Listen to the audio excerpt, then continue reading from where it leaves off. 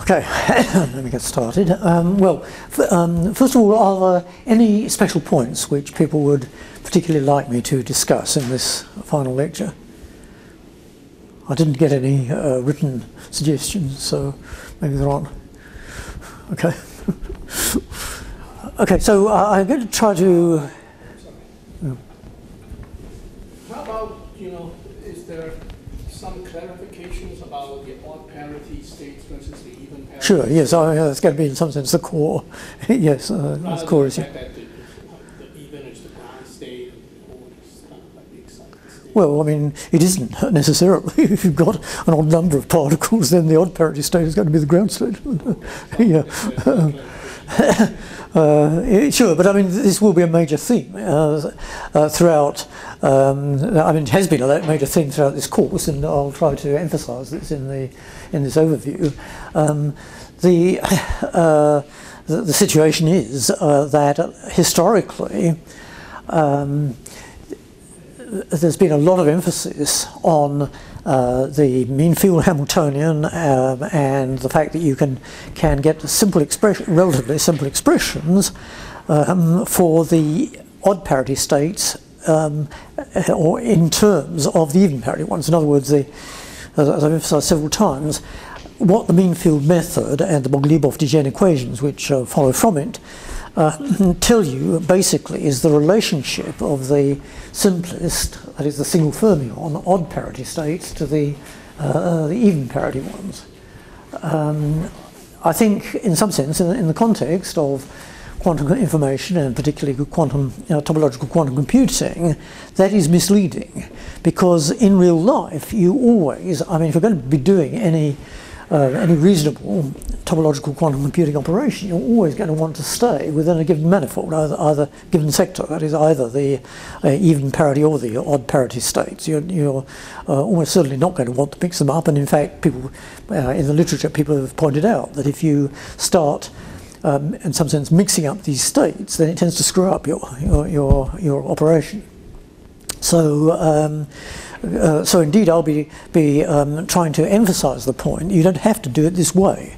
The fact that it's been, been done this way is, a matter of history, really, in some sense. Um, and that I, I, believe that if you, uh, if you uh, look at the whole thing a slightly alternative point of view, and in particular, if you emphasize the importance of, of conserving total number of particles, then actually you get a much sim, uh, simpler picture. Now, that may not have been obvious, in fact. Um, I believe, because, and in fact, um, there's certain aspects which, um, uh, which in some sense I think I've only, uh, I've only got clear about um, during the course of this. So, so, um, uh, so it may have seemed a bit confusing at times. But I'll, I'll, I'll try to, uh, uh, uh, to give you a, what I hope is a relatively clear picture. Let me just point out, uh, before I start, uh, there were a couple of um, a couple of recent references which uh, uh, should have really been included in the ones for the last but one lecture when I was talking about angular momentum and surface currents. I mean, these are, most, I think they're the most recent references. Um, they're, uh, sort of state of the art. Um, Tada, uh, uh, Tada and company discussed the question of the angular momentum of a P plus IP um, uh, superfluid and do come to the same conclusion as several other people recently have come to, namely that it really is NH bar over 2. What's very interesting is they point out this is unique to the P state. It turns out that if you have a, a, a state in which the pairs have a non-zero angular momentum, but it's higher than one, that is, a D or F state, then, then in fact you don't get a, a, a large spontaneous angular momentum. You get something which is way down by factors of delta over EF. So that's actually, I think, quite, uh, quite interesting.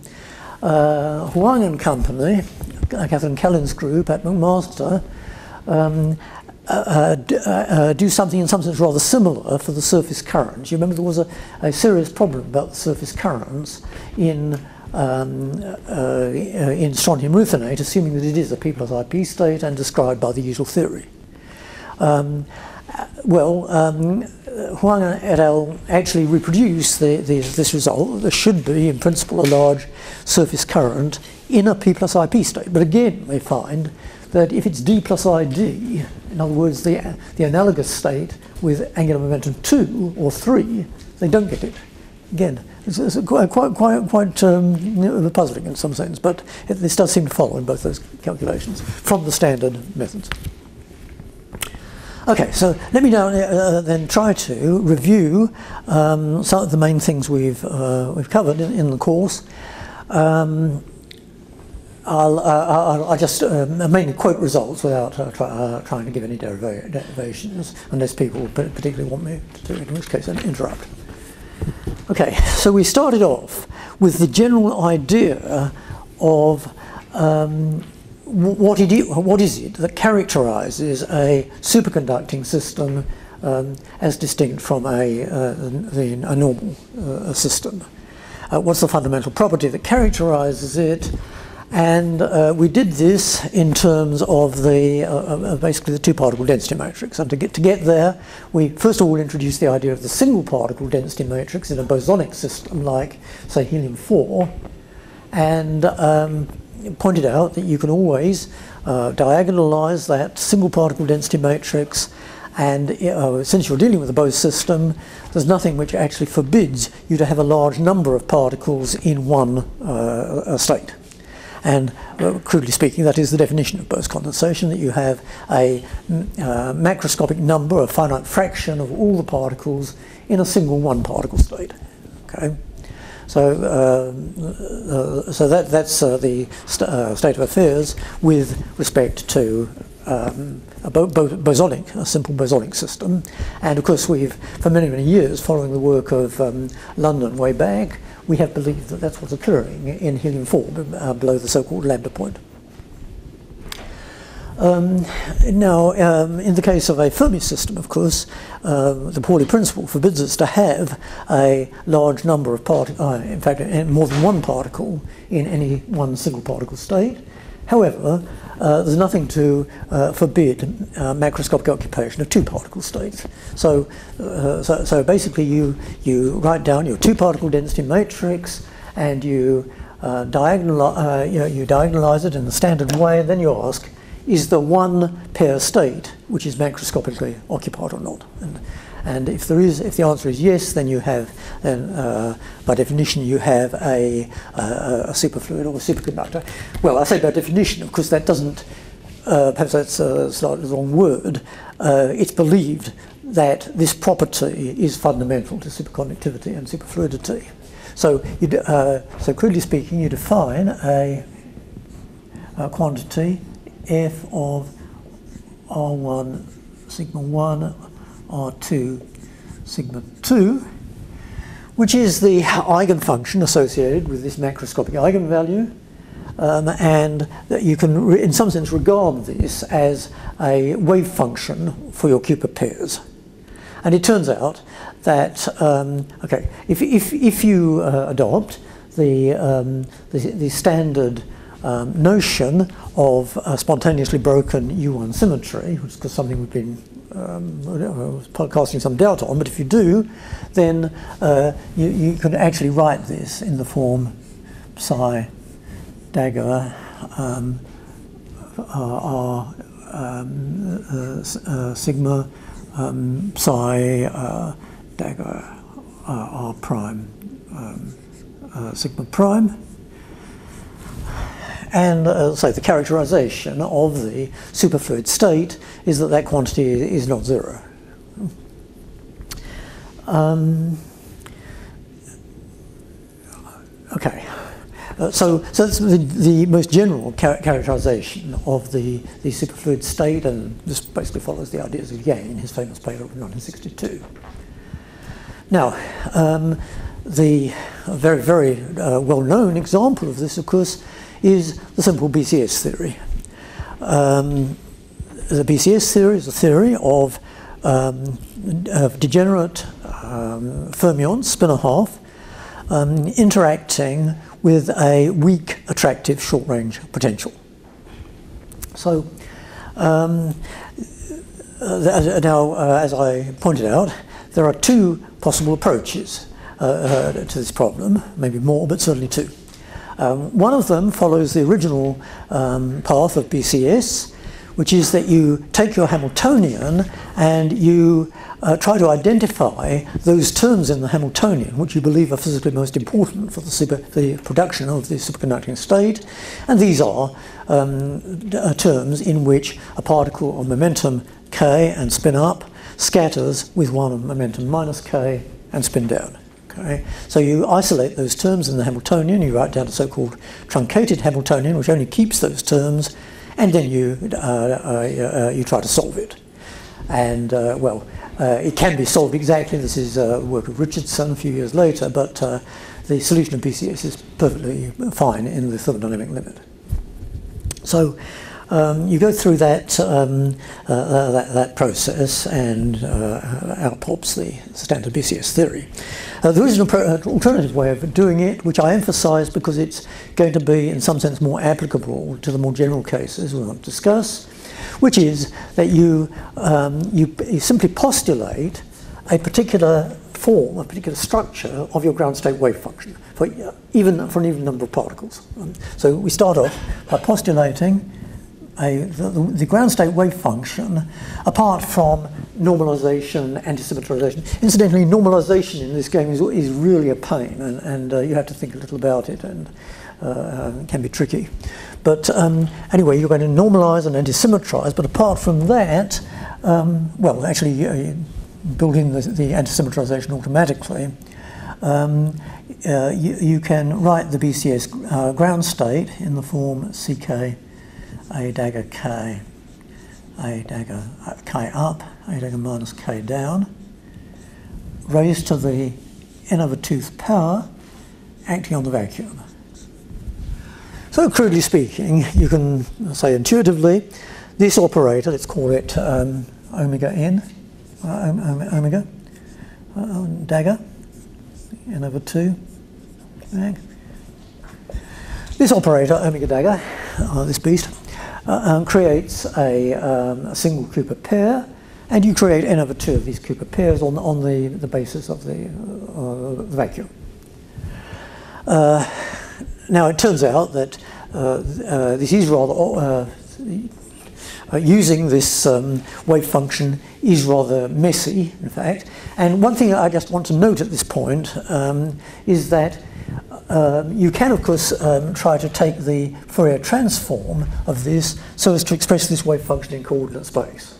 If you do, then it comes out as um, uh, integral integral phi of r, r prime psi dagger r psi. I haven't. I've left off the spins for simplicity.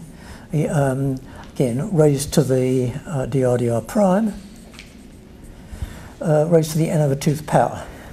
And at first sight, you might think that this phi here is the same as this piece, but actually it isn't. It's, only equal to that in, in the extreme uh, dilute um, uh, limit, as it were, which we're not, is not the BCS limit. So, in general, there are important differences between these two functions. And in particular, let me comment that it's this function which actually is, much, in some sense, much more like a two-particle wave function in free space. In particular, if you try to calculate two-particle expectation values like uh, the potential energy, it's this piece that comes in in a simple way, not this. Okay? Uh, well, as I say, this is messy. So, I mean, one can, and actually, uh, I believe that for the purposes of analysing the kind of problems that have arisen in topological quantum computation, it is actually better to deal with this beast, tedious as it is. But, um, uh, but for many other practical purposes and sort of traditional condensed matter purposes, it turns out to be a lot simpler uh, not to have to deal with that.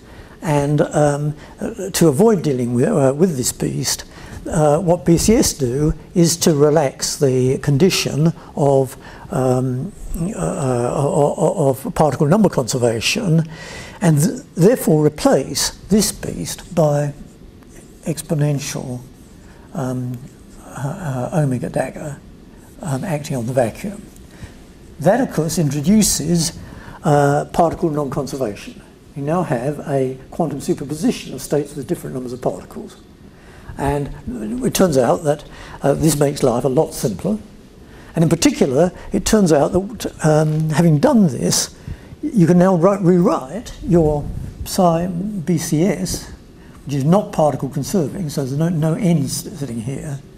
Okay, you write your BCS wave function as a product, not over the behavior of individual particles or pairs of particles, but over the occupation of different states, k up and minus k down. So, and that's what BCS do.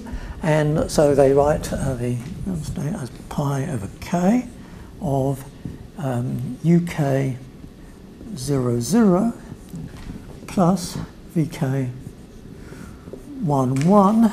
Um, let's put a K on that. Where uh, this, this uh, simply means the state where neither K up nor minus K down is occupied, and this, in this one they're both occupied. And the relationship between the U and V, which occur here, and the CK, which occurs here, is that CK is VK divided by UK, and uh, with a normalization condition, UK squared plus VK squared is equal to 1. Okay? Um, for the odd parity case, when you consider it in the, in the lectures, you only consider the even or the equal spin parity? For for, the odd par yes, that, that's correct, yes, I did, yes. Is the non-equal spin parity situation different? Uh, okay. Thanks. Okay, good. good thank you. Um, so what? Uh, yes, indeed. Um, as David says, um, when I uh, um, so far I've been uh, just talking about simple BCS, which of course is spin singlet. However, I do come on later, and will come on to spin triplet pairing, and in that case, I indeed only considered uh, a special case of spin triplet pairing, uh, where you have only two up spins paired, or and two down spins paired. There is a third possibility, which is that I have the, uh, the symmetric combination um, 1 over root 2 up, down, plus, down, up. Uh, yeah. Uh, uh, that, that is the uh, that corresponds to total spin for, for two spin and a half particles. That corresponds to total spin one, but sz um, equal to zero instead of being plus one or minus one. And that is turns out that certainly there are systems for which it's important to take this into account. One of the most best, best known is, is the B phase of superfluid helium-3. Um, in that phase, it's believed that all three Cooper pairs, up, up, um, down, down, and this symmetric combination, they're all formed. Um, luckily, it turns uh, there's a, a, sort of um, technical point here which I didn't certainly didn't go into uh, earlier in the lectures. Um, luckily, it turns out that if you choose a particular direction of K on the Fermi surface, um, then, uh, uh, then uh, the, the state which we believe uh, describes the B phase of helium-3 has the property, the so-called unitary property. That means if you choose a definite value of, of, K on the Fermi surface, then you can always find a set of spin axes in which the pairing is pure up-up and, or down down, alternatively a set of axes in which it's this simply this symmetric combination. Okay, so uh, that is uh, say the, the, the, class of states which uh, has this property are called unitary states. It's it's generally believed that uh, the, the, the state which is actually realised in the B phase of helium-3 is a unitary state. Um, uh, it, uh, the life becomes somewhat more complicated, um, but not all that more complicated, in fact. And in particular, you find that there's a uh, sort of relatively straightforward form of the gap equation, which, however, has an interesting property. If you, um, and this is believed to apply to real, um, uh, real helium-3b. Um, you remember in the um, uh, uh, for a simple p-wave system with only up, up and down, down pairing, in three dimensions, the, um, the, the, energy gap always has nodes. And that's in some sense a, a, topological theorem which you can't get around. Okay. Uh, in two dimensions, it, it, it, doesn't. Doesn't. In two dimensions, you can just have a, uh, you can have a gap which um, uh, is, is simply proportional to uh, um, kx plus iky. therefore, um, since you've only got x and y dimensions, that, uh, um, uh, uh, that, that means it doesn't have to vanish anywhere on the, on the uh, Fermi surface. Um, however, in three dimensions it does. And in fact, for real, the real A phase of helium-3, which is three-dimensional under most circumstances, uh, you do have uh, this node in your energy gap, and that has interesting physical consequences. It means, for example, that the, uh, there are a lot of, of quasi-particles excited at low temperatures, and therefore the uh, specific heat is, is quite large. Now, in the B phase, where you have all these three possibilities of spin polarization, turns out that's no longer true. You don't have to have nodes in your gap, even in three dimensions. So, and indeed, we, we believe that this is, is the case in helium-3b. We believe that the energy gap, uh, the magnitude of the energy gap is in fact constant over the Fermi surface. So, um, and therefore the specific heat, for example, at low temperatures is exponentially small, the specific heat due to the fermions. Um, so, uh, so, so, so, this, this, this, uh, this question of having all these three spin components does have important physical consequences. Does that answer your question? Okay, good. So anyway, so um, the uh, this is the standard representation of the BCS state, uh, uniform state of a free Fermi gas. Well, a Fermi gas with weak attractive interactions.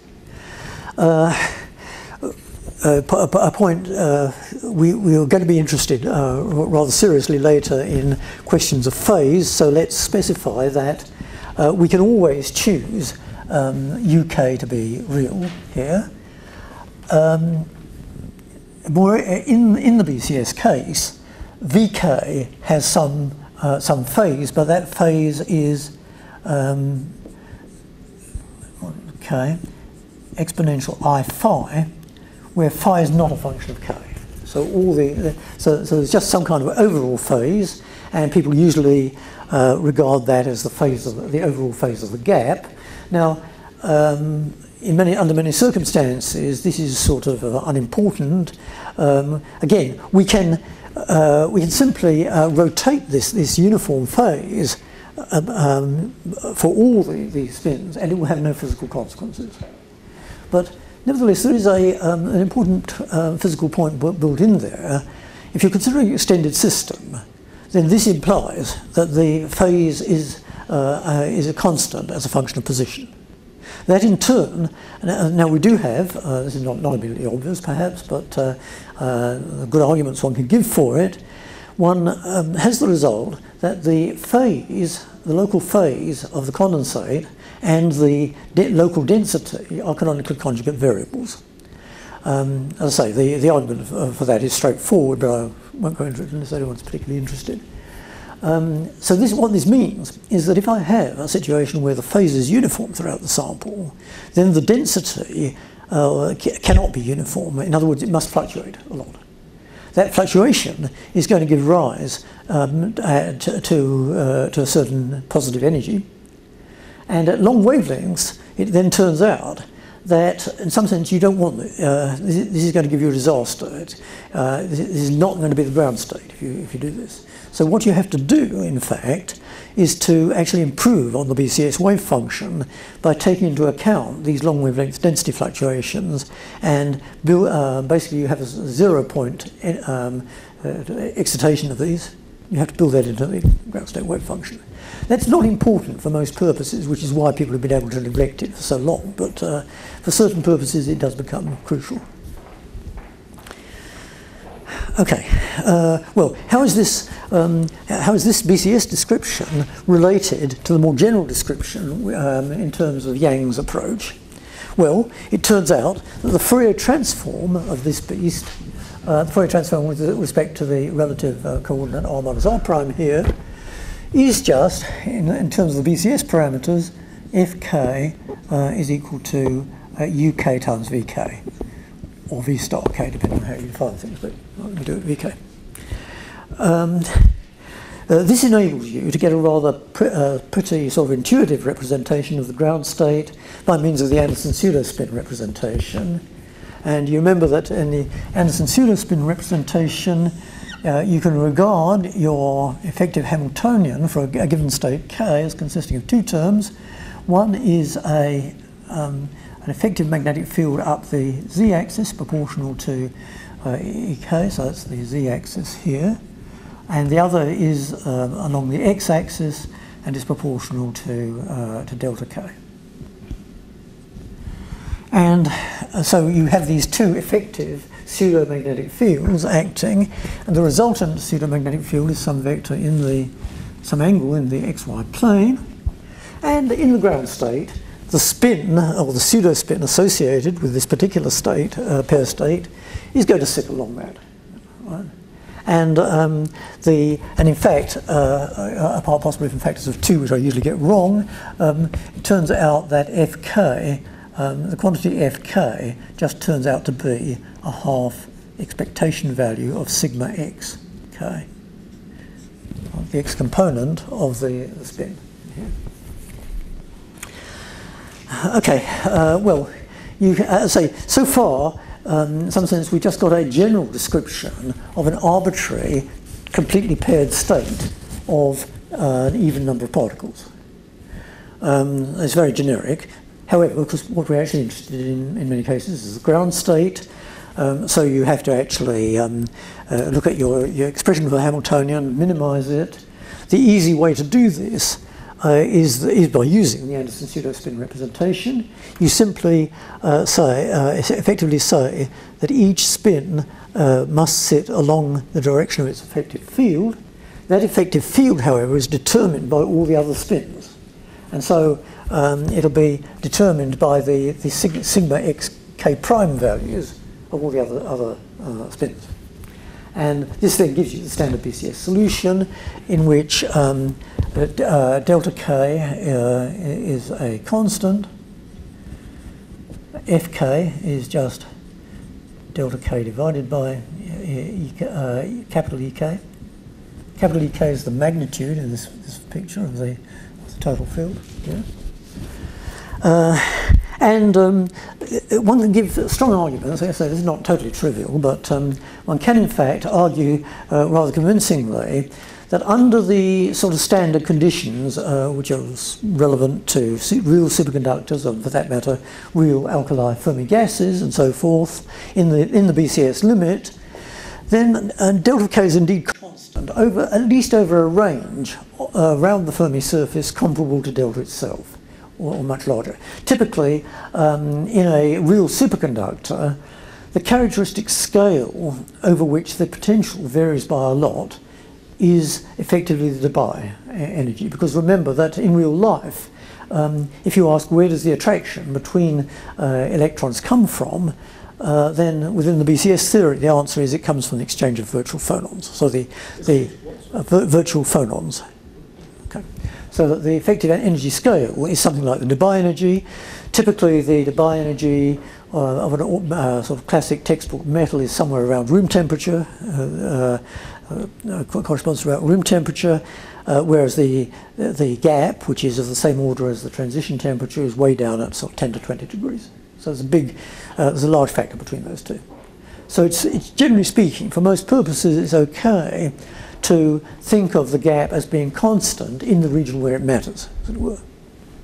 For certain purposes, you have to go beyond that, but we know how to do that. I believe we can. Uh, now, very, very crucial um, uh, uh, feature of the standard BCS uh, theory of superconductivity is that in some sense, at many points along the route, uh, there is an implicit assumption which enters, which is that the, the gap which you find and come out with has to be very small compared to the Fermi energy.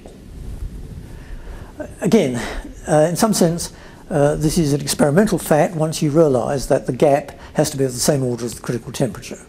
Critical temperatures of the um, classic uh, BCS superconductors like aluminum, lead, tin, so forth, they're all somewhere in the range 10 to 20 uh, degrees, absolutely, perhaps less, but certainly not more.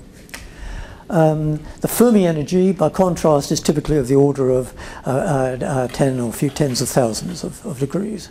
So that condition is extremely well satisfied for a typical BCS superconductor. I just note not necessarily, that's not necessarily the case when you come to look at um, uh, these ultra-cold Fermi gases and, uh, and study the so-called BCS to BEC or BEC to BCS crossover.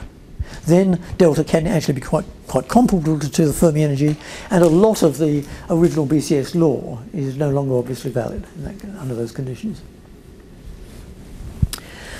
Uh, we had a brief look at um, the real space behaviour of this quantity as a function of the, the difference here, r minus r prime. And you remember that what we found was that at relatively short distances, that is, say, let us say, large compared to an atomic spacing, but still small in some, uh, on some other scale, what we find is that the, this function f of r is roughly the wave function of two free particles colliding at, uh, moving at, at, the Fermi energy and colliding. Um, however, if you go beyond a certain distance, the so-called pair, uh, pair radius, xi, then it falls off, this function falls off exponentially, and that's what gives you, as it were, your bound state.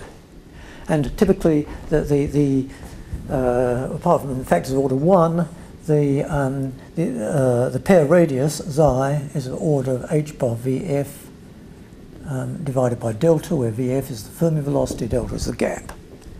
And so putting in the numbers for a real metal, that turns out to be typically of the order of a, a few thousand angstroms or, or a micron or so. So much, much larger than the, uh, the, the, typical interatomic separation. Uh, that's basically just a reflection of the fact that delta is, is, is small compared to EF here. Um, well, we already, um, uh, already uh, commented on the, uh, uh, the fact that, strictly speaking, the, in some sense, the, the BCS ground state is inconsistent, at least for a neutral system.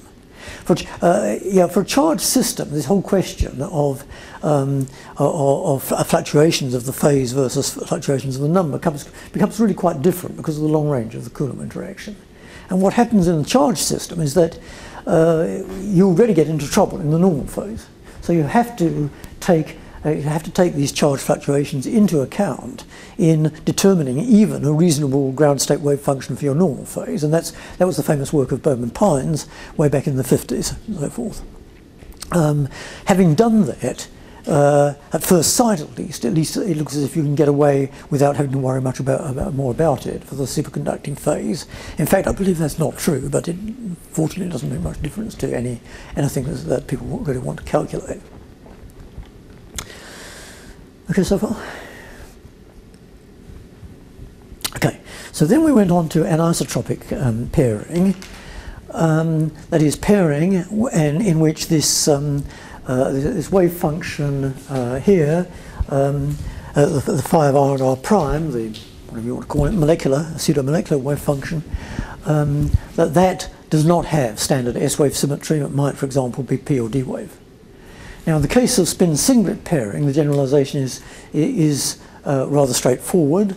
Um, what uh, so you get a, a uh, you get a gap which is no longer constant as a direction uh, with respect to the direction of k over the Fermi surface. Um, the best studied case is the D-wave case, which was done by Anderson and Morel in their famous paper in 1962, I guess.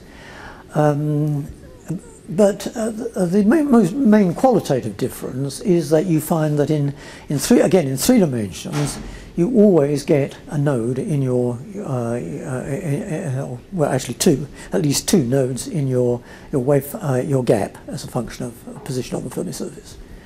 Um, but apart from that, um, most things are similar to what happens in the S-wave case. Um, in the P-wave um, uh, ca case, um, uh, we, uh, uh, as David pointed out, uh, we did confine ourselves to the case of equal spin pairing. Okay, this luckily it turns out this is probably adequate for most purposes regarding Majorana fermions and quantum computation and so forth. if we wanted to discuss the Majoranas which occur allegedly occur on the surface of helium 3b, of course we would have to worry about this complication. People do in the literature. But it's really, it turns out it, it, really is mostly, it just makes the formalism a bit more complicated. It doesn't really change the sort of qualitative results. Um, okay, so um, the most interesting case of p-wave pairing um, is that where the p plus ip case.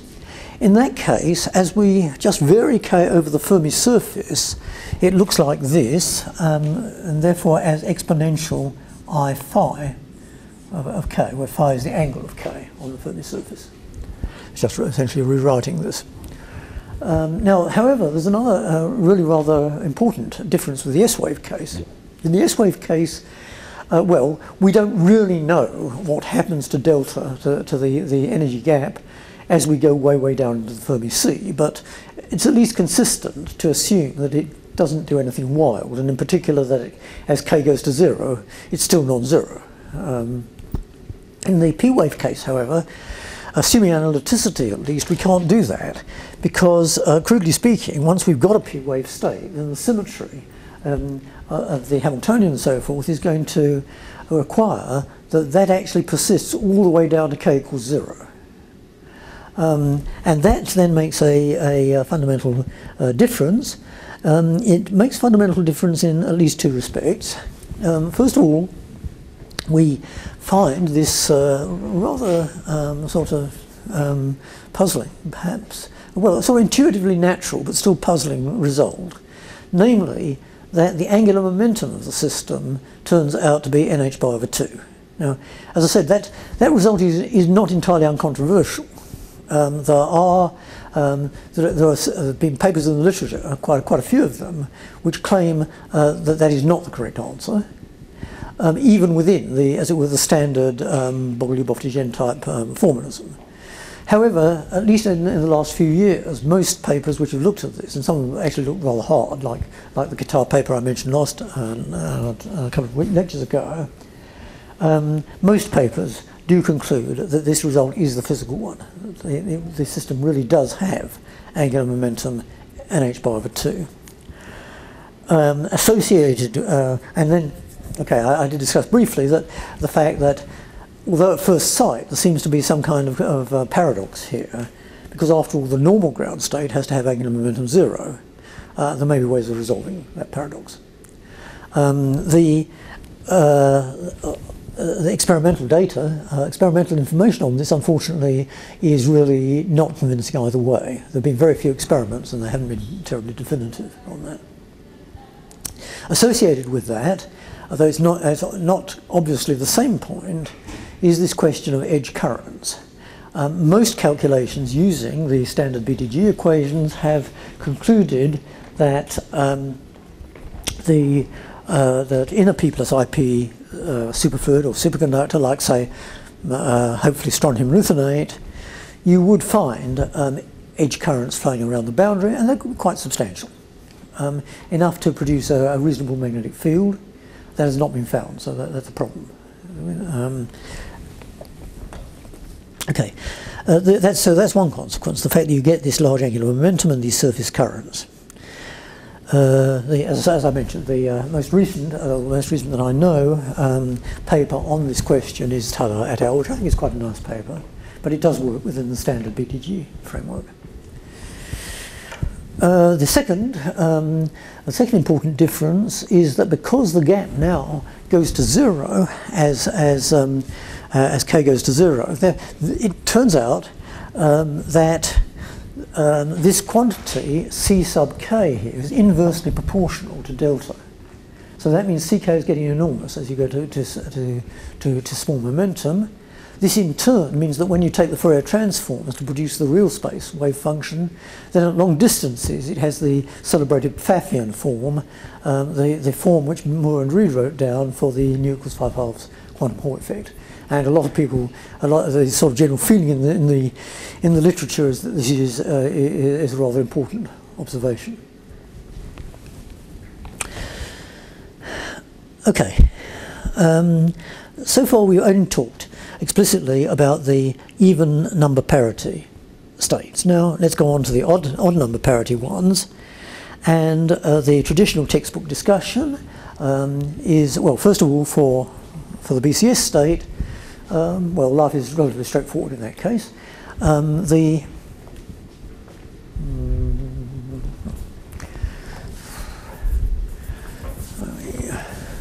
so this is our um,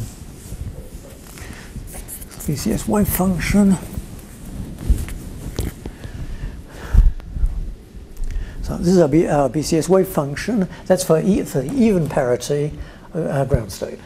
Note we haven't we can't specify a definite number of particles, but we can specify the parity. So that is even, right? Now to make an odd parity state, uh, the standard prescription is that we write down the operator alpha dagger k up uh, is equal to uh, definition uk a star k up minus the minus sign comes in because of the anti-commutation relations minus vka minus k down. So in other words, we um, take a quantum superposition of a, a, an extra, uh, creating an extra particle, state k up, and taking out a particle in state minus k down. In other words, adding a hole in the state minus k down. And you notice immediately that, of course, this does not conserve um, total particle number. And as I, well, I won't go over this again unless anyone's interested, but as I pointed out um, in uh, the last lecture, um, you can't resolve this problem simply by the standard Anderson trick. So, so it, it is in some sense a real problem that you've not conserved um, a, a, particle number. Um, now, uh, okay, so, so there is this, um, uh, there is this combination which, which creates an extra quasiparticle, and it turns out that the energy of this extra quasiparticle, unsurprisingly, is just given by this uh, energy E sub k. Yeah. Now, um, there's a, a, somewhat, I think, um, confusing point here. Just go back for the moment to the even parity state. Uh, in the even parity um, state, in the ground state, the spins were all aligned along their, their fields, which are magnitude ek. An obvious way of making an excitation is simply by turning a particular spin around. And that's going to give me an energy twice Ek. So it's very tempting, and almost all the textbooks, as it were, fall into this trap, to regard the, um, th this uh, so-called excited pair state, which is even parity, as simply a combination of, of two Bogoliubov quasiparticles. So you've got this, uh, let me just write, write out the other one for definiteness. You've got alpha, you've also got alpha minus k, alpha dagger minus k down. And that um, is uh, UK A dagger minus k down plus, again, uh, this, this is because of the fermionic anti-commutation relations, um, A k up. So you to put these two together, uh, you can actually show explicitly this generates the excited pair state. Uh, personally, I think that observation has misled people a lot. Um, I think on, uh, because we'll find when we come to, to discuss more complicated situations than the original BCS case that the relationship between the, the even parity excited states and these odd parity ones, the single Bogoliubov quasiparticles, is much more complicated than, than that. Uh, okay. Um, so, uh, okay, just note, before we go on, notice that um, we can write down this combination of, uh, uh of, uh, um, uh, of annihilation and creation operators. But in fact, within a given, for a given state, a given pair, pair state K, we actually have not two but four operators. We have the creation operator for K up, the creation operator for minus K down, and the annihilation operators for two. That's four, not, not two. So there must exist another um, pair of operators here. Uh, what is their significance? Answer, they simply annihilate the ground state. That is, acting on the ground state, they, they produce a state of, um, uh, of zero norm. Now, how exactly you sort of visualize that physically, I, I, I find rather confusing. Um, but uh, it, I, I, guess what it really means in effect is that if you find that part of your operator, uh, if you have some operator which you want to try to apply to the state, and part of it turns out to be this, this operator, then you just throw that away. So uh, that has no effect, as it were. Um, okay. Okay, so far? So far, I think everything is sort of relatively clear, clear cut. Incidentally, just one, one yes, one, one, one further point which causes some confusion, I think. If you do write down these pure annihilators, what I call pure annihilators, then it turns out, in fact, that they are simply the complex conjugate of Bogoliubov quasiparticle operators, uh, for example, for, for spin uh, k um, down and or minus k up. That, however, again, I think is, is rather confusing because that turns out no, no longer to be true in the general case. It's only true in the, the simple BCS case. Okay.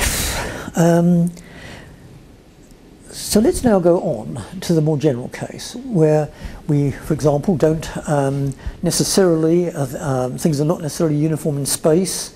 Our, our um, interaction potential could vary as a function of position. I could have magnetic impurities, you know. So all sorts of possible complications. what can we say generically about this, um, th this situation? Well, um, let's uh, make, strictly speaking, all we can really say um, is that since it is supposed to be a superfluid, that is a Cooper paired state, we can define a condensate wave function along the lines that Yang did. Uh, and that's certainly possible, but it doesn't really get us uh, very much. So, um, uh, so let's um, tentatively at least make the following ansatz that the ground state is indeed of the completely paired type. That is, uh, well, I wrote it down. I, uh, it's, it's, basically of the type um, psi. So I'll get a conserved particle number for the moment. So uh, some normalization, anti-symmetrization, which I'll leave out. Um, omega to the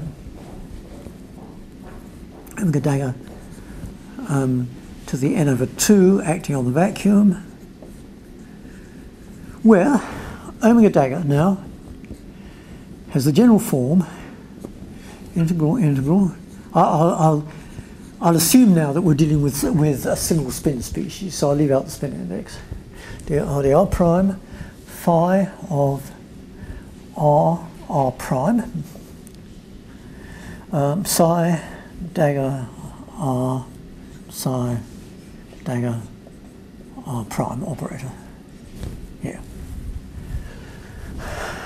And really, the only thing we're going to specify is that in order to satisfy the, uh, the, well, we don't actually even have to specify this strictly speaking, but it's useful to specify that phi has to be antisymmetric here. That's to basically make sure we don't have any conflict with the Fermi statistics. Otherwise, this is quite general. Now, um, by a, a, a, theorem which probably has a name in pure mathematics, but I don't, name I don't know. Um, as I say, I first, first, first learned it from Yang's uh, famous paper.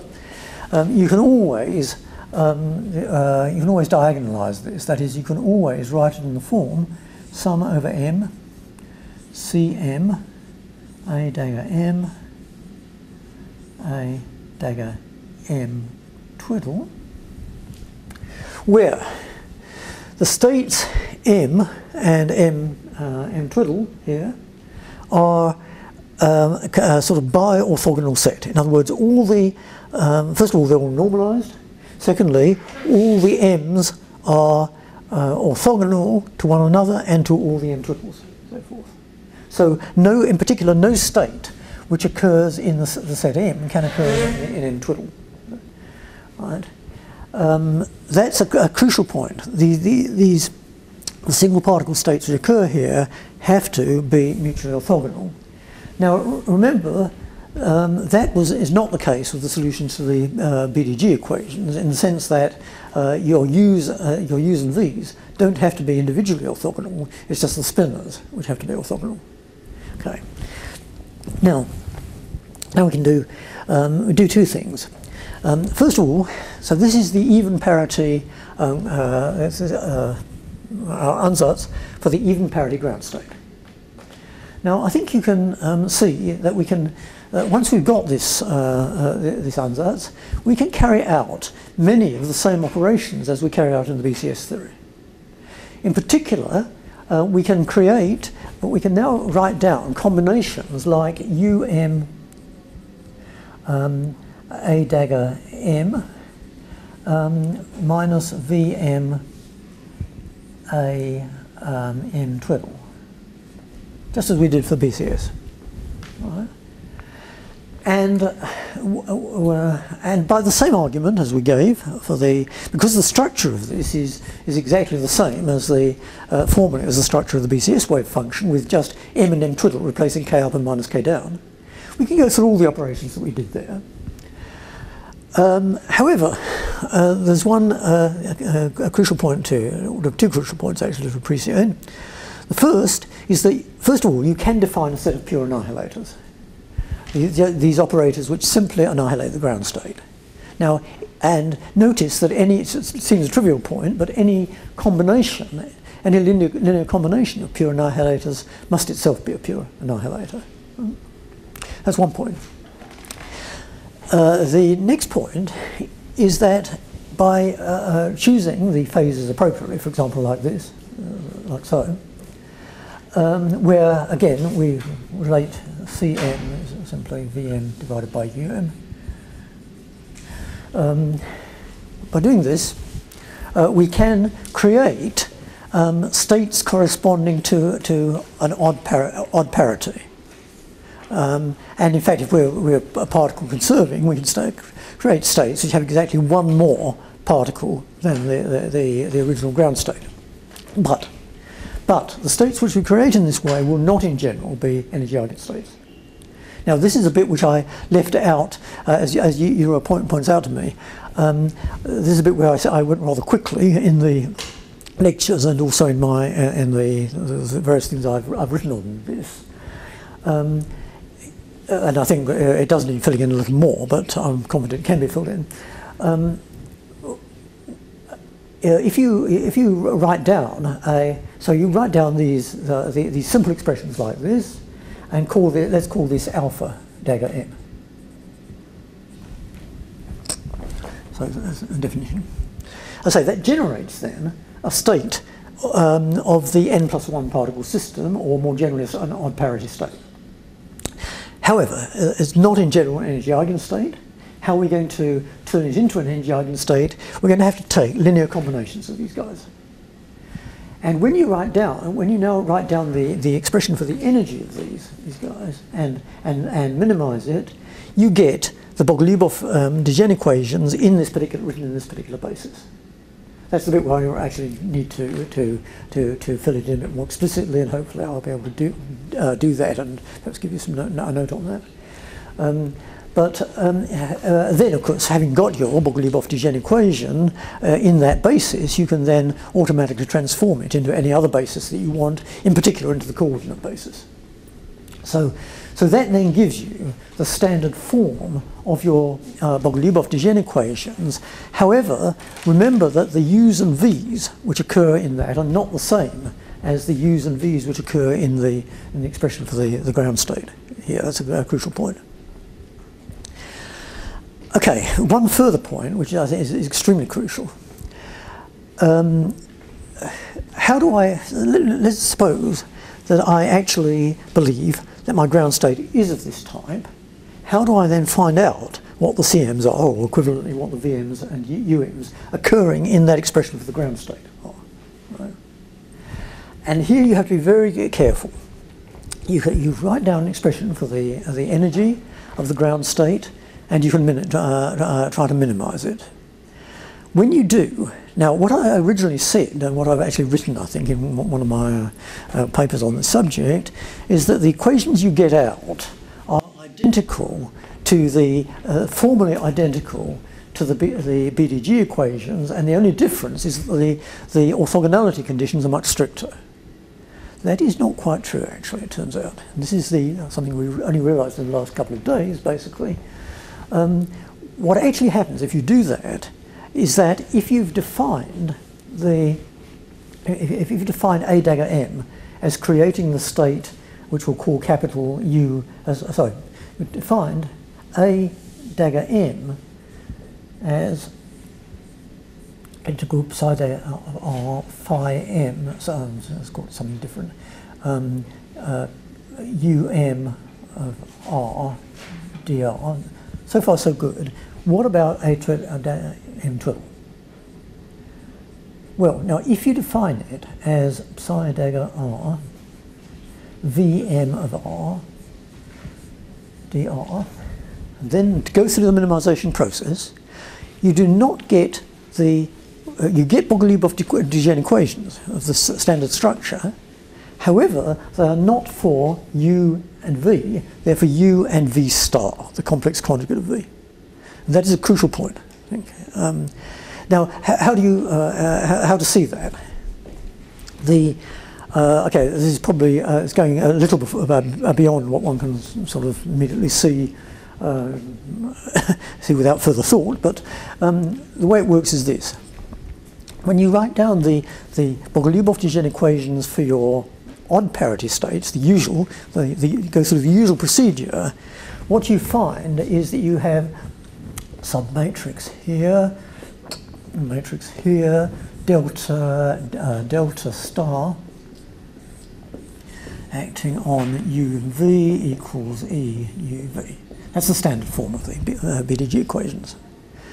Now, in order for that to work, you have to get the phases matched up right, and that means that the phase of U multiplied by V star has to be um, the, uh, the phase of delta. I'm just talking about the, the relation that the phases have to have. Okay? That cannot be the case when you're actually trying to minimize the energy of the ground state because the energy of the ground state consists has a term in it, for example, integral delta of r, um, u of r, not v star, it's v of r, dr. So that's the crucial point. So now it's not the difference of the phases which has to match up to the phase of delta, it's the sum of the phases. That really makes all the difference. And it makes the difference between the whole scheme of construct, uh, as we'll see in more interesting cases, the whole, whole scheme of, of, of, uh, um, uh, uh, of constructing your ground state self-consistent or not. So, so that, that really is a very crucial point. Um, okay. Uh, well, let me, I'm going to have to speed up a bit, I'm afraid. Anyway, um, so this last bit, uh, this bit involving this is not in the standard literature. I mean, it is in some some of the papers I've written recently, but it's not in the standard literature. Okay, let's go back to the standard account now. Um, now, okay, so we come to the, the idea of Majorana fermions. What are Majorana fermions? They're a certain type of um, solution to the standard BDG equations, that is, the BDG equations which give you your fermionic excitations. Before you go, yeah. there's one more question you may have covered when I was away, but you know, take a look at the way you do the Bogoliubov-de Gennes equation. Yes. And I just download one of your Yeah, okay. Mm. Uh, there are some slight differences. Sure, I'm, I'm sure there are. I probably, I mean, uh, for, for, a start, uh, you probably find that there are differences in phase convention. yeah. Yeah. Than that, I think yes, okay. notes, you know, you started with the standard de Gennes yeah, uh, derivation and then yeah. kind of like present yes, yes, way which yes. is supposed to be more physical insights. Yes, yes. Uh, yeah. But in your uh, presentation, this uh, you do not do the de Gennes equation, you just go right into your yeah. Non-standard literature. Yeah. Because again, it gives the more. Well, hopefully, yeah, yeah, hopefully. Mm. Okay. Okay, so, yeah, okay, fermions. Uh, by de uh, okay, definition, they're solutions of the um, um, Bogoliubov-de Gennes equations, uh, which correspond, first of all, to energy zero. Um, they, um, they are localized in, uh, in, in space, and what is usually taken as fundamental is that they are self-conjugate. That is, they are solutions U and V to the uh, Bogoliubov-de Gennes equations with U of R equal to V star R. Now I claim that the, the emphasis on this condition is, uh, is an example of the way in which um, the attention to high energy physics has corrupted condensed matter physics. This, uh, uh, this I'm sure this relation is terribly important in a particle physics context. In the context of condensed matter physics, it's essentially totally irrelevant. The only reason you, you uh, why you want to, uh, uh, to, to, to, postulate this, this uh, relation here is because uh, you want eventually to construct real fermions out of it, uh, out of your Majoranas.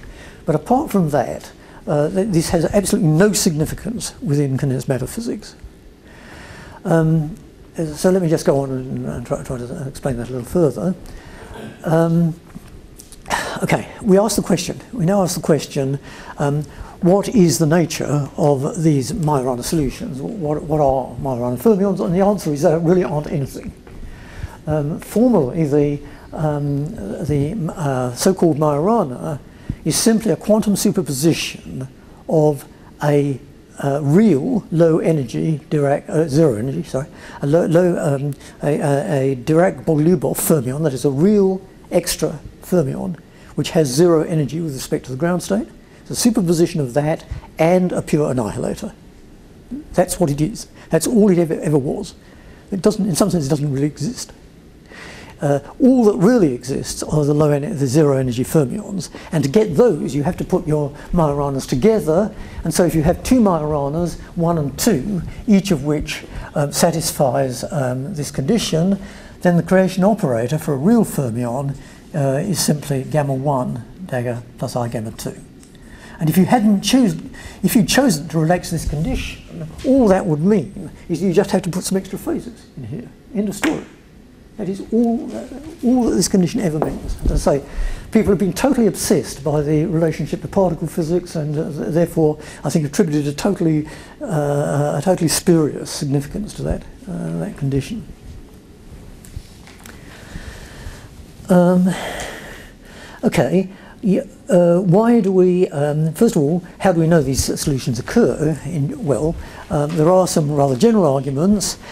Um, it, it turns out, um, I think one basically sees this mostly just by going through specific examples, but generally speaking, if you have, and this is a slightly more general phenomenon, if you have a problem um, involving more than one, uh, more than a, a single degree of freedom, for example, a particle with spin, and you put it in a situation where the external parameters, like say magnetic field, vary in some kind of uh, sort of relatively discontinuous way, then you are likely to find these localized solutions. This is, uh, this was first discovered um, historically with kinks in polyacetylene, way, way back in the 70s, I think um, is now, now of course got a lot of, of prominence in the, in the area of topological insulators. Again, um, uh, uh, in a topological insulator, what happens is that you have a certain kind of physical uh, parameter, in this case the spin-orbit interaction, which is non-zero in one region of space, that is inside the metal, and zero elsewhere, that is outside in the vacuum. You always get a, a zero energy uh, solution sitting there. These, so these so-called mid-gap modes or zero energy modes are very, very ubiquitous and they're not confined to superconductivity. So, uh, and of course one can do better than that. One can actually solve it quite explicitly. Um, for, and for example, people have solved the problem of a, a um, uh, uh, of a, a uh, uh, the, the, excitations in the core of an Abrikosov vortex. Um, it turns out that you have this rather simple argument that um, uh, that no, in a simple S wave, and a, uh, simple Abrikosov vortex, and an S wave superconductor, you can't get any Majorana fermions. And um, the, uh, the, the, the, reason is that in order to, I, I should, sorry, there's one thing I, I, should have, one remark I, I, I should have made. Generally speaking, uh, you, um, if you, you, you solve your problem, you find that your U's and V's don't naturally come out having this property. For example, um, you might find, and often do find, that you have um, UV is proportional to 1 and I here. Okay. Then you, what you have to do is to multiply by an overall phase factor so as to get, to get this condition satisfied. So the, uh, the, the, uh, uh, the relative phase of these two is indeed very important. The absolute phase is absolutely irrelevant, and therefore this, this condition is absolutely irrelevant, effectively. Okay. Um, okay, so in an ordinary Abrikosov uh, vortex, uh, there's a simple argument as to why you can't get them. Um, let's just suppose that you do choose the overall phase factor so that, that condition is maintained, just for convenience. Um, then uh, you know that um, the um, uh, U has to be related to V um, by delta. In other words, the phase of, of, U and V has to satisfy this, uh, this condition here. However, in an S-wave superconductor, what is the, uh, the angular momentum associated with delta? In an S-wave superconductor, it's just the center of mass angular momentum, that's one, okay? So the angular momentum of delta has to be 1. Then you, then you can easily see that there's no way of combining an integral angular momentum with this and an integral angular momentum with this to satisfy that condition. In a p-wave superconductor, things are different because now the total angular momentum of your Cooper pairs, the, the delta, um, uh, can be 0 or 2. So that condition can be, uh, can be satisfied, in fact.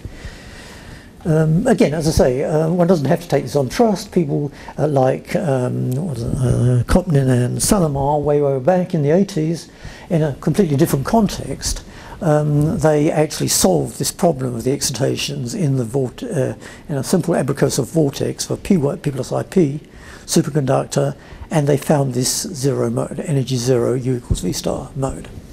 Now, you have to actually look very hard in that paper uh, for that result. And, and, in some sense, I think they were, they were sort of lucky because they weren't really interested in this zero mode for its own sake at all. They were just interested in looking at the friction on, on a moving vortex. But uh, that is the paper which indeed discovered, uh, first discovered that, that Majorana. Okay, so as I said, um, we can, uh, uh so the reality is not the Majorana fermion. The reality is the pair of Majorana fermions which constitute the zero energy, honest to goodness Dirac Bogoliubov fermion. Um, now, a very uh, uh, a rather uh, um, simple example of how, how this can happen. Um, uh, well, so, sorry, come, come back a moment. Important point. Um, I can have two. Uh, remember that my Majorana solutions uh, turn out always to come in pairs. So I can have these two um, uh, vortices in a P plus IP superconductor, and they can be a mile apart, and nevertheless there is a single fermionic state which is shared between those two. So that means in some sense the, uh, the whole, uh, whole thing is, is highly non-local and as Stern et al. discussed in detail, this is a consequence of, of a peculiar entanglement of the, uh, of the ground state uh, wave function. Um, why, why is this interesting? Uh, well, um, it's, uh, the, the, the first point to notice is that because the, now, as I said, this is totally unimportant. However, what's unimportant is the overall phase which makes this true. What is important and crucially important is the fact that u of r squared is equal to v of r squared for all r. That means, at least within the standard, um, the standard approach, the mean field approach, what that means is that the um, uh, uh, uh, the the uh, probability, the, uh, the weight of your, your whole extra particle component is exactly equal to that of your hole component. And therefore, if you ask, um, what is the extra density associated with this, answer zero. Because the, the, the hole, hole component exactly cancels the particle component. Similarly for currents and so forth. Now, if you're dealing with an S-wave superconductor, of course, then you could say that, uh, okay, the quasiparticle does have a spin density. Um, because the, the, the hole has, uh, sorry, the particle has spin up, and the particle which you took out to make the hole had spin down, and therefore these do add together and they give you a total spin density. But remember, we're talking about parallel spins, and, uh, and so this doesn't arise anymore. So no physical, at least at first sight, no physical quantity can uh, uh, uh, can actually um, be different depending on whether you have a, um, a, a, zero energy Dirac Bogoliubov fermion there or not. Okay? So, so crudely speaking, you have these two vortices, they're a mile apart. You believe that there is a state for, first of all, there is a state in which nothing interesting is happening. You've just got vortices.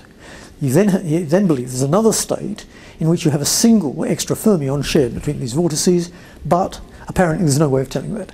No way of telling that directly. Okay? No, no way of telling that. Yeah. Okay, so, so you might ask, well, okay, so when, how can you ever tell anything whatever about these beasts? Answer, you, what you have to do is to bring the vortices together gradually, and as the vortices get closer and closer, you find that one of these states just goes over trivially into the, uh, the uniform ground state, the other goes over, over, into a state in which you've got this extra fermion, and now it's just an honest uh, uh, Bogoliubov fermion sitting above the gap, and you, there are ways of detecting that. So that was suggested, for example, by Chung and Stone in their paper.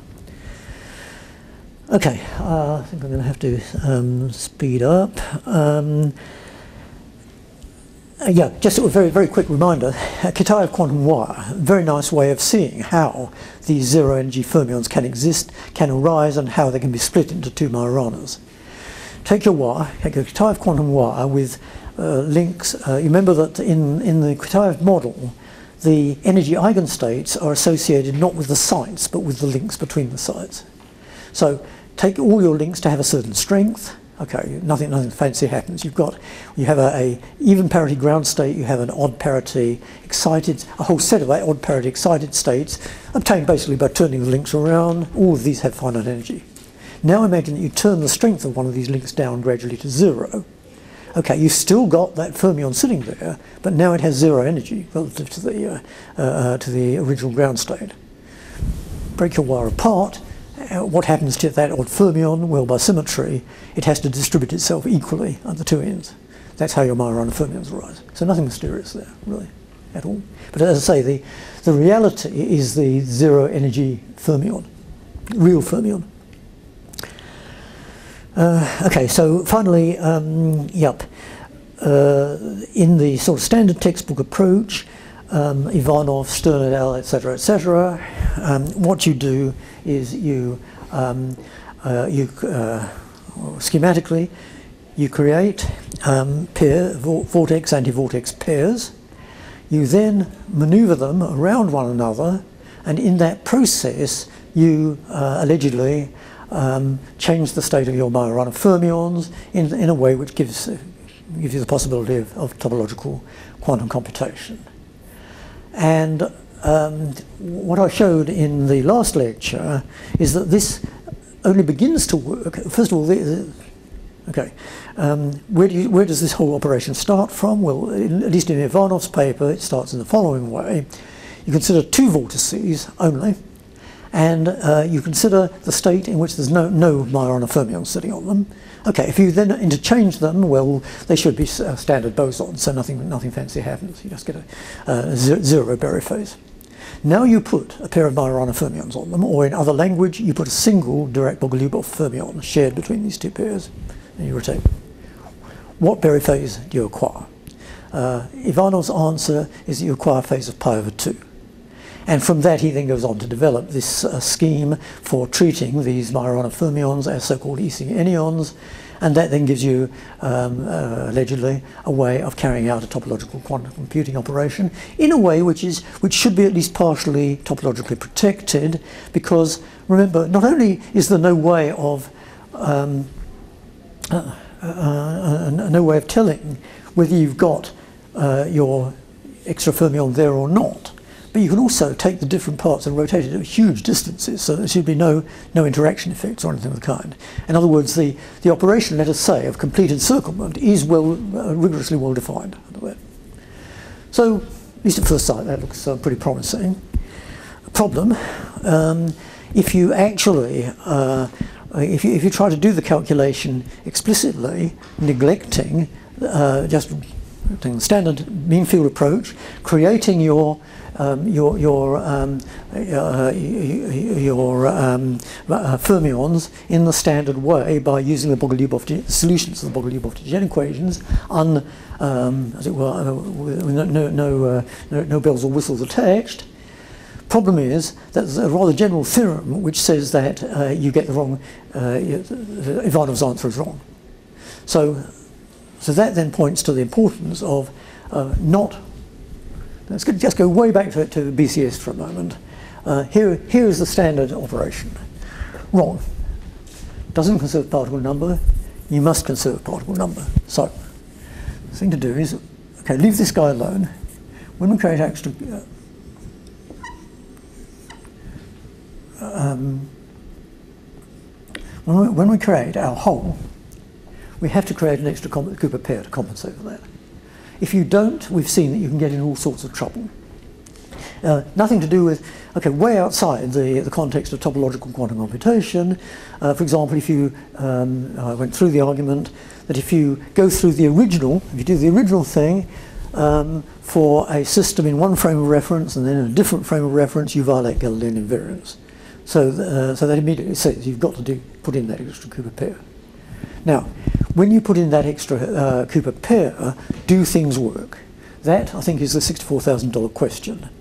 Uh, in other words, can you, uh, uh, can you reconstruct all the standard arguments of uh, uh, Ivanov, Stern et al., Nayak et al., Dot, you name it, this sequence of papers that's come, come out in the last 15 years, can you reconstruct all that within a particle conserving formalism? Um, I suspect, though, though this is still under discussion as it were, that the answer to that question is yes.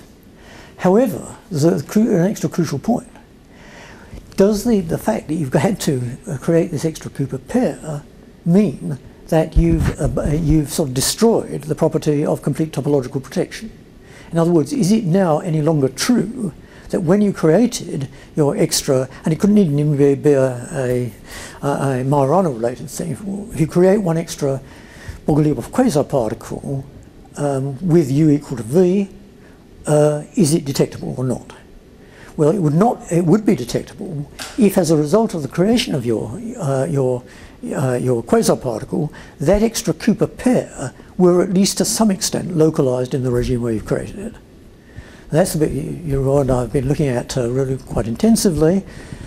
Right now, we, I suspect, I don't know if you want things, uh, I suspect that the, uh, the, uh, uh, the answer is yes, you do um, create a little extra pair in that regime. Again, it's not something we're going to stake our lives on at this very moment, but um, so I, I, suspect then, that, as it's only, only, a guess right now, I suspect the answer is yes, we can.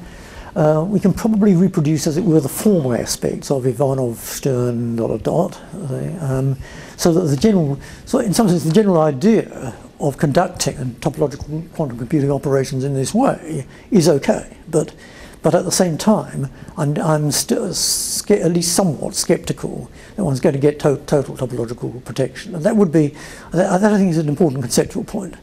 The effect may be very tiny, but if it's there at all, you've really destroyed the basis, in some sense, for topological quantum computing.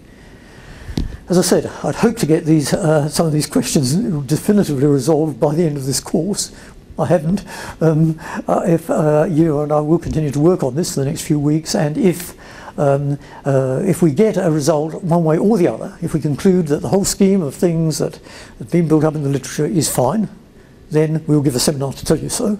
If we, um, if on the contrary, we discover that or believe that uh, the whole thing is a, a, load of rubbish, we'll also give you a, a, a seminar to tell you so.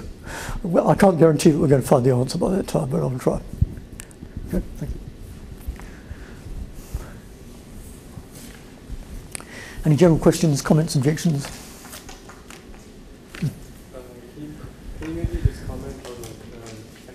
Superconductors? F, F-wave? Yeah. Well, okay, um, the general belief seems to be, okay, this is something which is only, um, I mean, people were always aware that you could get F-wave uh, superconductivity, and people even, at one point it was even proposed for helium-3, but um, the, uh, uh, I think it's only been seriously studied in the context of some of these more exotic superconductors that people have found in recent years. The, um, I think the general belief is that uh, uh, this is largely, in fact, um, a, a, result of the work of the last year or two by the, these groups and others. I think the general belief is that it would be qualitatively similar to D-wave in the sense that you'd um, you would get, um, in general, a, an anisotropic state However, interestingly, that state would not have, even if it's of the right symmetry, that is so-called D plus ID state, or F plus IF in your case. So if we had, let's just imagine we had a two-dimensional um, F-wave superconductor, what would the gap look like? It would look like delta is proportional to e to the 3 i phi k, where phi is the angle on the, on the Fermi surface. Okay? So that looks, at first sight, that looks very similar to the p-wave case, which is e to the i phi. Okay? Um, however, uh, right now at least, the, the, the, majority belief among those who've looked at it hard uh, seems to be that that F-wave state would not have an angular momentum of 3. Remember that the P-wave, according to standard law, does have an angular momentum of 1. This, so you think this one should have 3. Uh, the, I say, the general belief from, uh, for example, this paper here, Tada et al., seems to be that um, that's wrong, that it would actually have a much smaller angular momentum, something down by a factor, at least one factor of delta over EF. Um, the differences for that are very subtle, and you have to look explicitly at the nature of the solution to the Bogoliubov-de Gennes equations to uh, which they've done in, fact, in this paper. But apart from that, um, it would at first sight at least, it uh, would seem not to have any very exotic features. You, uh, presumably you could get um, sim simple Abrikosov vortices in an F-wave superconductor and they would be qualitatively similar to the P, P plus IP case because the, again the angular momentum is odd which means that you can, can construct Majorana type solutions. Comment on, you know, the Nambu theory well, versus the EGG. Well, I don't think there's really a Nambu theory. There's a Nambu formalism. Um, yeah. Uh, well, but basically, the Nambu formalism simply says let's take this, uh, uh, let's take this spinor um, here and regard it as effectively equivalent to a particle spinor half. Uh, well, in fact, I think it might have even been conceivably Nambu who first wrote down this, this particular formalism here. Um, it, uh, uh, I mean, it's uh, Nambu formalism is just a, a very, very um, elegant, uh, formally elegant way of handling this particle hole degree of freedom. A particle hole, particle hole degree of freedom. Uh, if you have a system which has a real, uh, say, if, you're, if, you're, dealing, say, with an S wave or a mixture of S and P wave superconductivity, then you have to have, um, uh, you have to remember, you have your particle hole degree of freedom and you have your, your, your real spin degree of freedom. So that gives you a 4 by 4 structure of your Nambu matrices. Okay. So, that, so it is a rather, rather and convenient way of handling that. Okay, good. Okay, well, thank you for your interest and patience.